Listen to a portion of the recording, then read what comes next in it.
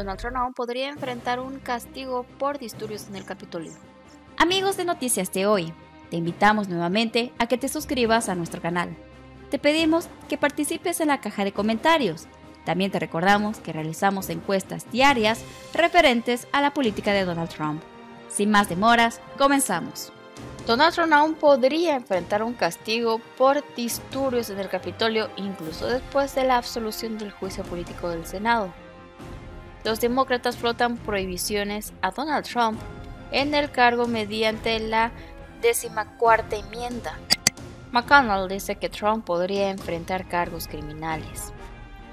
El expresidente de Estados Unidos, Donald Trump, el sábado después de que el Senado lo absolvieran del cargo del juicio político en su contra, se burló de un regreso a la arena política en su postpresidencia, pero aún puede enfrentar esfuerzos para castigarlo por el ataque del 6 de enero contra el Capitolio por sus seguidores.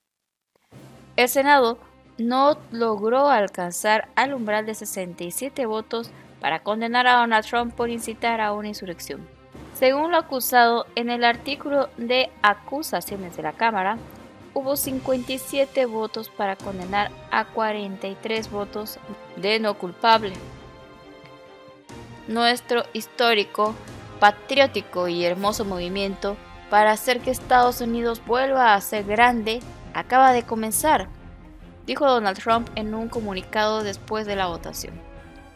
En los meses venideros tengo mucho que compartir con ustedes y espero continuar nuestro increíble viaje juntos para lograr la grandeza estadounidense para toda nuestra gente.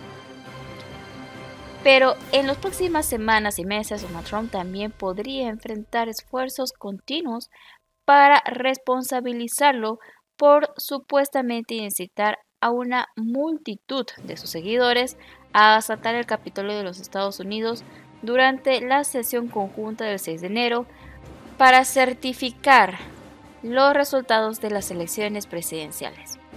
Los alborotadores desfiguraron el edificio y obligaron a cientos de legisladores y al expresidente Mike Pence a esconderse mientras cantaban Cuelguen a Mike Pence entre otras cosas.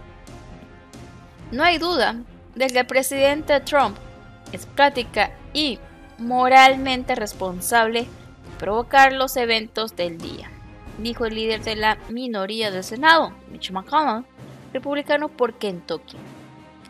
Después de la votación del Senado que absolvió a Donald Trump, Mitch McConnell votó que Donald Trump no era culpable, pero dijo que su voto no era un reflejo de las acciones de Donald Trump y en cambio era una expresión de su opinión de que el Senado no tenía la autoridad para llevar a cabo un juicio político para un ciudadano privado.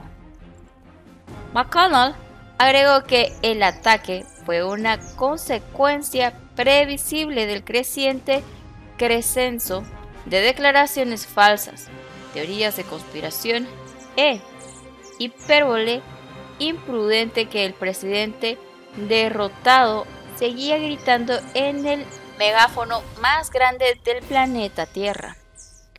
El presidente Trump sigue siendo responsable de todo lo que hizo mientras estuvo en el cargo, continuó McConnell. No se salió con la suya todavía. Tenemos un sistema de justicia penal en este país tenemos litigios civiles. De hecho, hay una investigación criminal abierta en Georgia sobre la llamada de Donald Trump que hizo al secretario de Estado de Georgia, Brad Raffensperger, un republicano, presionándolo para que encontrara suficientes votos para desviar el resultado de las elecciones presidenciales de Georgia del presidente Joe Biden. Y algunos demócratas también están presionando por una forma separada de prohibir a Donald Trump en el cargo futuro ahora que el juicio político fracasó. Creo que tenemos que pasar meses y meses desenterrando toda la, evidencia que posiblemente se pueda obtener a través de una comisión del estilo 11 de septiembre, dijo el senador Chris Coase, demócrata de Delaware, en The Week de ABC el domingo. Y varios republicanos ya han salido y han dicho que debería haber una mayor responsabilidad, ya sea a través de un juicio penal o por algunos otros caminos para ser excluido del cargo. Cons parecía aludir a la decimocuarta enmienda, que algunos demócratas dicen que podría usarse para impedir que Donald Trump se postule nuevamente para el cargo. La enmienda se aprobó a raíz de la guerra civil y tenía como objetivo evitar que los exfuncionarios estadounidenses que desertaron a la Confederación volvieran a ocupar cargos en el gobierno estadounidense.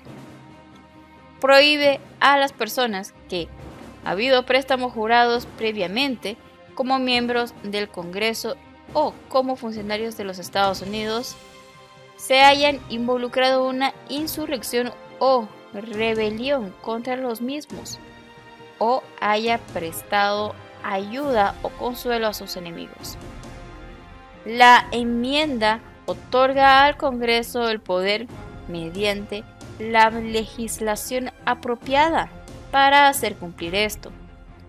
Por lo tanto, algunos demócratas interpretan esto como una forma de prohibir a Donald Trump el cargo sin superar el obstáculo de 67 votos de una condena del juicio político.